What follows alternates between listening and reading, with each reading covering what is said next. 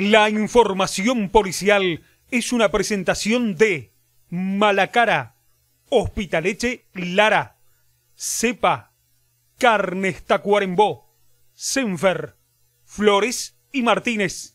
Sonido Emanuel. Buenas noches, teleaudiencia. Vamos con la información policial de la jornada. Falta de su hogar, Leonel Lemos Correa, brasileño de 57 años, alto, complexión gruesa, cutis blanco, ojos verdes, cabello castaño, usaba bombachas gauchas y este, falta de su hogar en un establecimiento rural en Paraje Platón desde el pasado 3 de septiembre.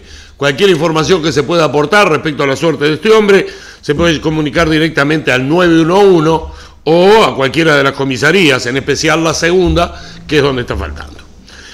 Ayer indicábamos que un, que un joven de 17 años había sido detenido por la Dirección de Investigaciones como presunto partícipe de la facción criminal Los Manos.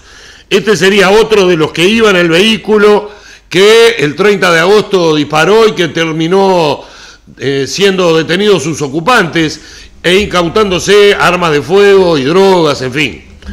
Este muchacho pasó por sede judicial y fue formalizado por un delito de rapiña especialmente agravado en grado de tentativa, en régimen de reiteración real, con cuatro infracciones graves a la ley penal tipificadas como un delito de agravio a la autoridad policial, especialmente agravado, un delito de receptación, un delito de disparo de arma de fuego en lugares públicos y un delito de tenencia no autorizada de arma de fuego y municiones. Todo esto en concurrencia fuera de la reiteración con un delito de asociación para delinquir.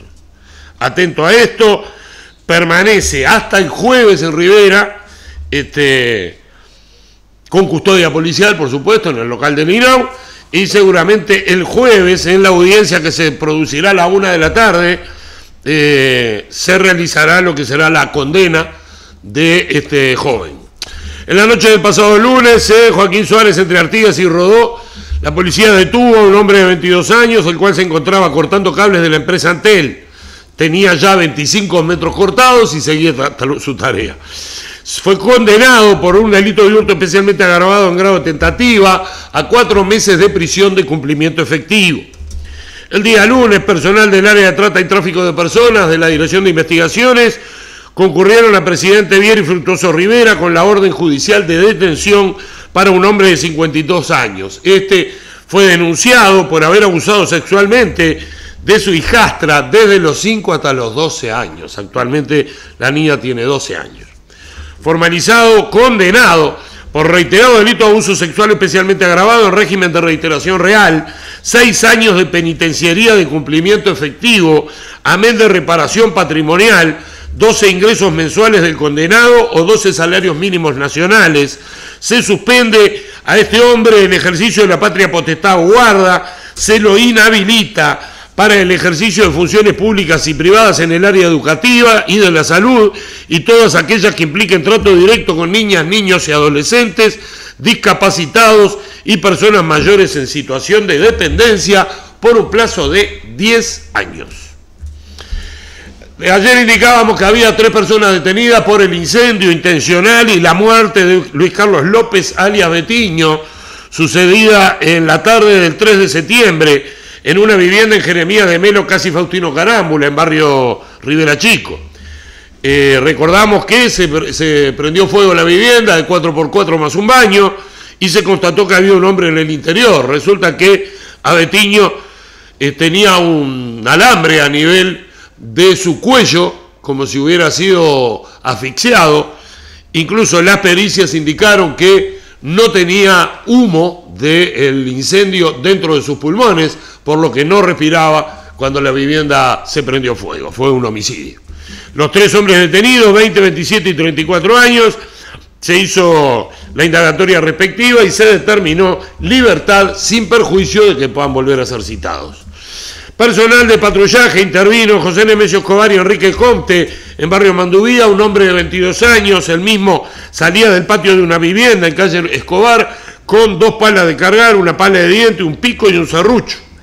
Este hombre, el propietario de la finca, salió de la misma, reconoció los bienes como propios, eh, estaban dentro del patio cerrado de su predio. A este hombre se lo formalizó por un delito de hurto, especialmente agravado, con régimen de libertad prueba, presentarse una vez por semana y bla, bla.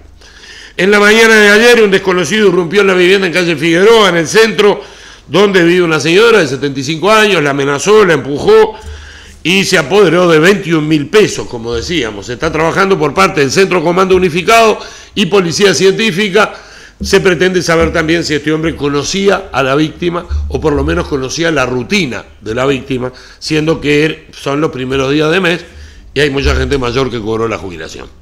De una vivienda de Faustino Carámbula, barrio Rivera Chico, se llevaron una bordeadora, una garrafa 13, un casco y ropas varias de la cancha de fútbol 5 de calle Bernabé Rivera, en Rivera Chico, barrio 33. Robaron 40 metros de cable del tendido eléctrico de un galpón en ruta 29, paraje Cuñapirú, hurtaron un recado y un lazo, de una vivienda en calle Fernando Segarra, un water y un lavatorio con canilla, y también de otra vivienda en Segarra, una garrafa de 13 con la válvula respectiva, esto en barrio Rivera Chico, Fernando Segarra, ¿verdad? De una vivienda en calle La Valleja, barrio Máximo Xavier, hurtaron una consola de PlayStation 2. Hasta el viernes se está pagando en caja policial, se arrancó el lunes, se paga hasta el viernes. Hay joven de 15 años brasileño que fue detenido por la rotura del ventanal, este, fue liberado, se va a mejorar el patrullaje en el microcentro para evitar este tipo de temas. Por otro lado, vecinos del camino Cerro Carancho vuelven a reclamar por el estado de dicho camino. Indican que es muy difícil circular con normalidad porque está muy poseado, está muy mal el camino y que habiendo tránsito como hay, de gente que va todos los días a trabajar, ida y vuelta, a Carancho, de gente que va a las visitas en, el lugar y de todos los vecinos que viven y usan el camino del entorno, este, se reclama a la Intendencia que se mejore el camino entonces que llega hasta el centro de reclusión número 12 de Cerro Carancho. Cumplimos con los vecinos. En materia policial, a esta altura de la jornada es todo. Nos reencontramos mañana en la edición mediodía. Tengan todos muy buenas noches.